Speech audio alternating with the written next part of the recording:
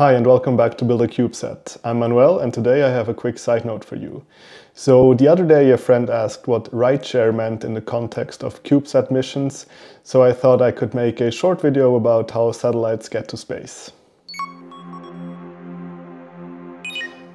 So rockets or launch vehicles, if you want to sound fancy, come in a variety of different sizes and purposes. There are smallish ones like the ones uh, enthusiasts like Joe Barnard build, who by the way has an excellent channel about this, to stupidly large launch systems like SpaceX's Starship.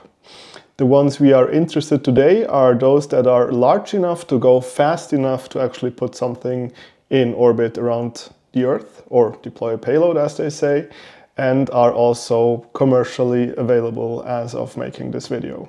There are a few that fit these criteria, but today I want to focus on two the Electron by Rocket Labs and SpaceX's Falcon 9. The Electron stands 18 meters tall and is considered a small launch vehicle, while the Falcon 9 is 70 meters tall and is considered a medium launch vehicle or a heavy launcher if you strap three of them together and make thus a Falcon Heavy. Now the most important difference lies in how much they can carry up to low Earth orbit. For the Electron that's about 300 kilograms, while the Falcon 9 can carry 22 tons. I am sure you're starting to see that there's kind of a big performance gap between the two. And of course, there's there are many more differences, like uh, the Falcon 9 being the only US launch vehicle that's licensed to carry astronauts to the space stations, to the space station as of right now.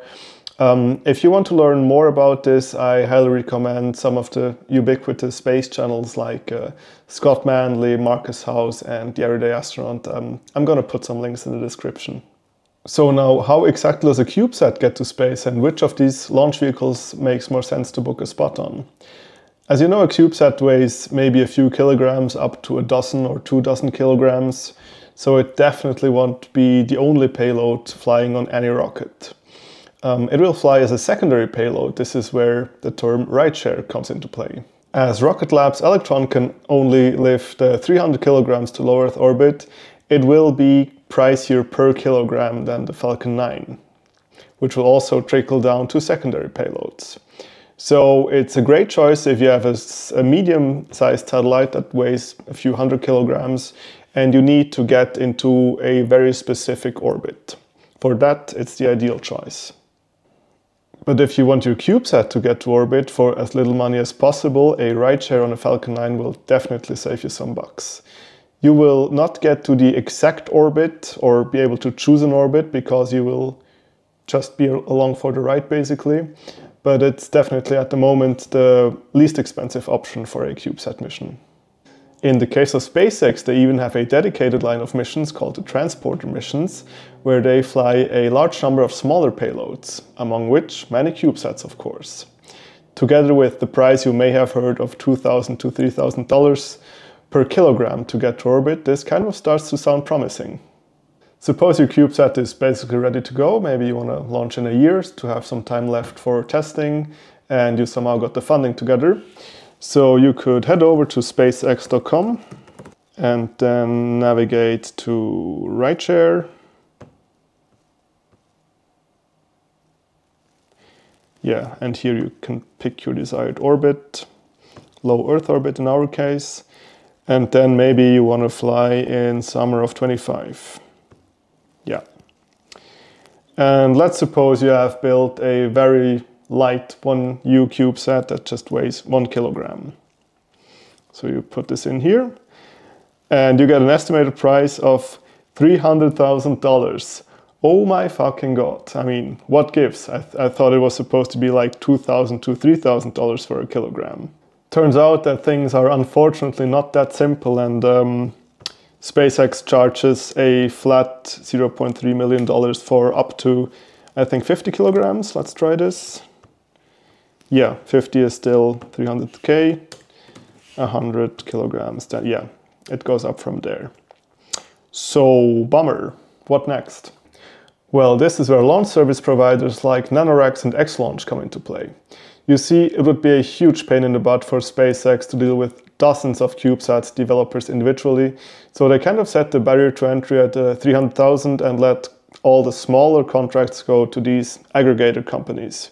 And their job basically is to make sure that every customer is vetted, the CubeSats adhere to all the re relevant standards, they are tested, they have all the licensing correct, and they are just all around safe.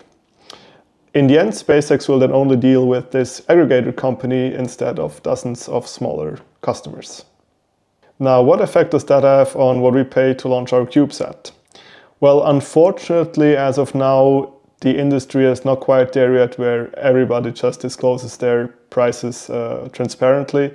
So it's still kind of a, you know, inquire for pricing uh, situation where you kind of know that you, you will not be able to afford it if you have to inquire about the price.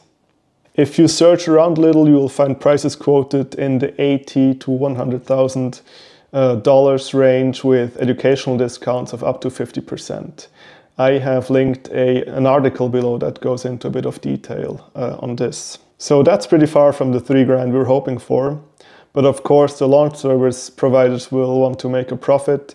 And I also think in the 100K price tag, there is uh, some testing included, but that's kind of where my, my knowledge gets a bit murky.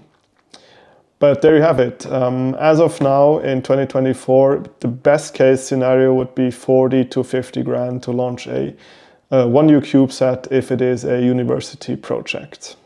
For my part, I'm of course hoping that these prices will rapidly decrease in the next decade. Um, if Starship comes online and we assume a somewhat conservative price point of $300 per kilogram to low Earth orbit, I think it will make a 30,000% markup hard to justify for launch service providers. So at least some of this saving will trickle down to the individual customers. And of course, maybe there will, you know, be other launch service providers that cater to a more budget-minded um, segment and who also maybe have more price transparency. It's, uh, that's a thing that I would really wish for. And for existing launch service providers, um, if there are many more CubeSat projects, many more customers, um, at some point economies of scale will start to kick in and they will be able to offer their services at a lower price point. So all in all, maybe now is a pretty opportune moment to start a, to start developing a CubeSat project so that we could profit from lower prices in, you know, a decade. oh, and one interesting and kind of new aspect of rideshare missions are space tugs, but let's save that for another side note video. So thank you very much for watching. Uh, let me know if you liked this video and I will see you in the next one.